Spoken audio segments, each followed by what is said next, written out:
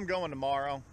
I'm going by myself and we'll be able to see what's going on there because I'm going to go do the fishing that I want to go do. It's a Sunday.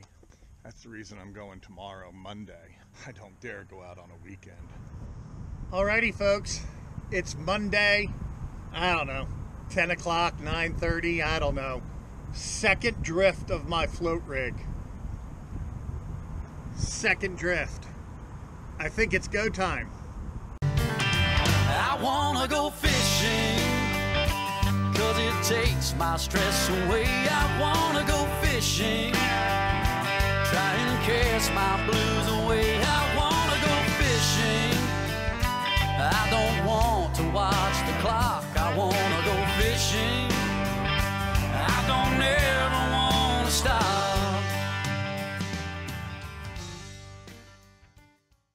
Do you think? What was I talking about? It's go time. Second drift of a shrimp. Who let them dogs out? 26 inches, folks. Two, six. Second drift.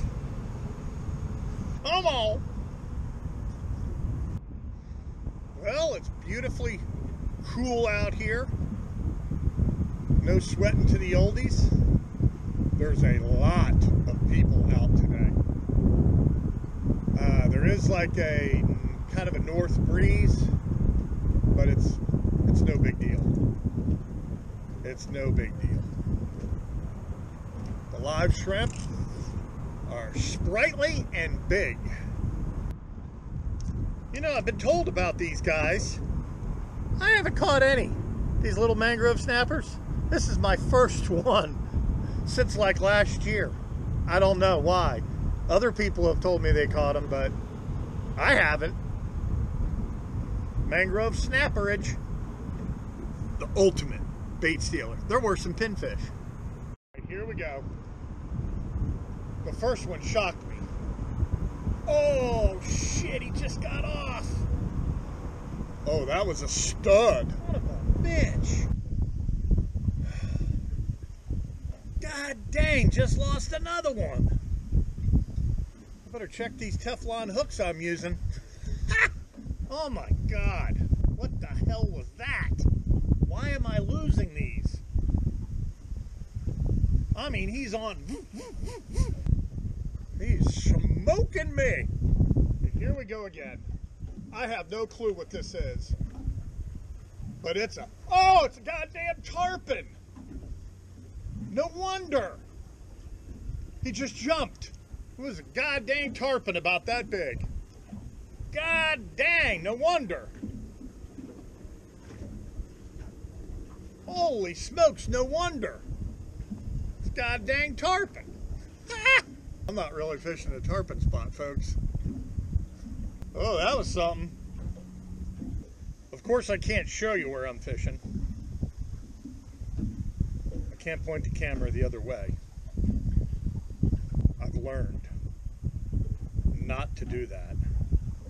Well, the only reason that one stayed on for like one head shake is for the sheer fact that I let him eat it a lot longer. What I'm doing here is I'm actually fishing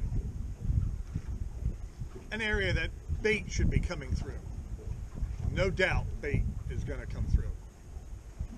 And uh, I've been in the same quarter mile all day. Because that's how I like to fish many times. Especially when I'm out just goofing around myself, doing a little research and development. I'm not going to run far. I'm going to, if it's a good, bad, or indifferent type spot, I'm going to try it. And that's actually what I'm doing right now. I've had my bait ripped off with a fish on three times. And I think two of them might have been tarpon. Small one, crowd pleaser. But that's how I'm approaching a lot of what I when I go out and just do a little research and development. I pick an area and I fish it all day at various times. I don't like running around. Talked to a guy yesterday that said he was on a charter in North Carolina and the guy ran around so much that he ran out of gas 20 miles from the dock. And they had to get towed in or something. 20 miles from the dock. Oh, there we go. Oh, yeah. Oh, that's far away from the. That's not that big. Oh, he's a thumper. Can you imagine? Uh, this is something goofy. This is something goofy. I don't think it's a trout. but you can you imagine being 20 miles from the dock and running out of gas?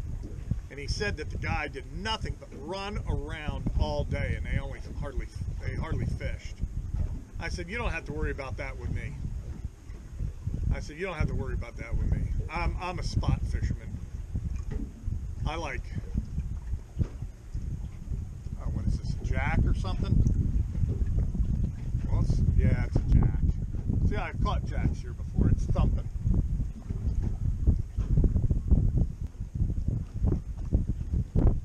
Fun nonetheless. All right, here we go. Way far away from the boat. Please stay on. Oh my gosh. Oh, please stay on. That's the cool thing about the float rig. Fish fight totally different when they're oh oh there he is okay when they're on that float. I better get the net.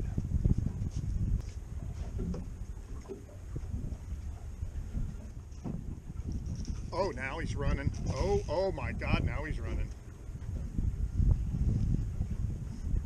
Oh, it's a redfish. It's a keeper redfish. Oh, he's not that big.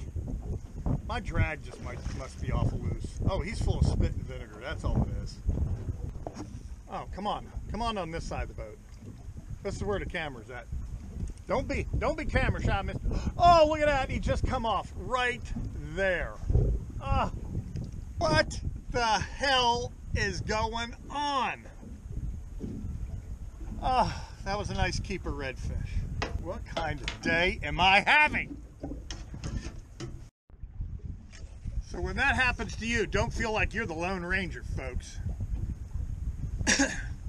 Because I get customers losing a lot, a lot of good fish. Man, I was way back from the boat. And the float went down and I stuck him. And he really took off. He, he was, felt a lot bigger than what he looked like. Maybe he was 23, 24 inches. He looked in the water there. Looked like he was about 21 inches. Don't feel like the Lone Ranger. Come on. I let him really take that float down and then I just, I kind of Bill danced him.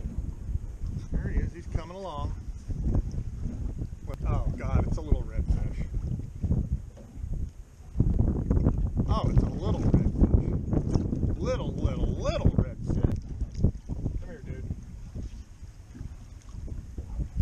There we go. Well, he probably ain't gonna make keeper status. I doubt it. Alright. I'm sure non-keeper status. Yeah, exactly one inch short. 17 inches. what we're gonna do right now is I'm gonna stick this camera down by the water and I want you to maybe see it might show up the particulates that are in the water that's getting stuck in your fuel cooler on your engine. Let's see if you can see that. Okay, you probably can't see it from inside. So, let me flip the camera upside down here. And let's see, since this is a waterproof proof GoPro, if you can see the particulates.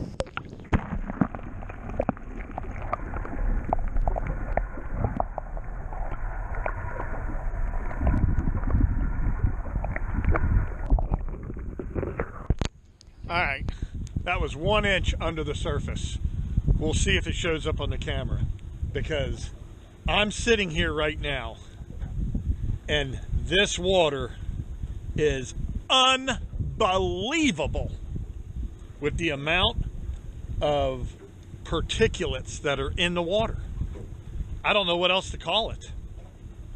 And that's the reason why I had to do, and I will be doing, uh, more of a flush on my engine. When I go home today, I'm running it out with clean water in my barrel. I'm not just plugging it up to the thing and just letting it flush. I'm not running all that up into my thermostat and just letting the water turn around and no, I am running the engine. And I am going to pump clean water through it. I don't know if we could see it. We'll see when the footage comes out here. I think it's about time to go make the donuts. The only keeper I got is that one gator trout.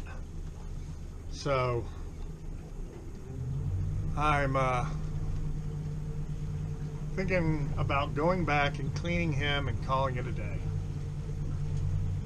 Uh, I fished a small little circle today, and that was it. Just to challenge myself to see what was going on. Uh, I didn't do a whole lot of moving around.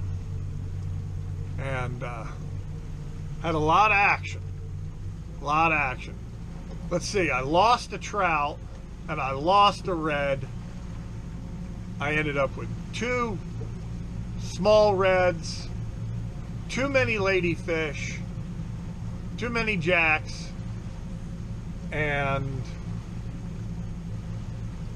hook that tarpon. What else? Oh, and four mangrove snappers.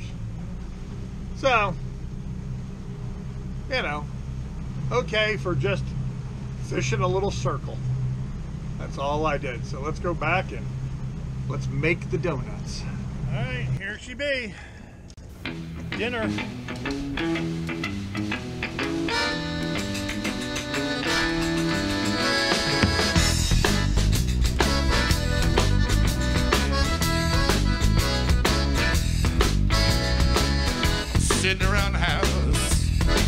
Nothing to do. I think I'll go fishing, scare away the blues. I'm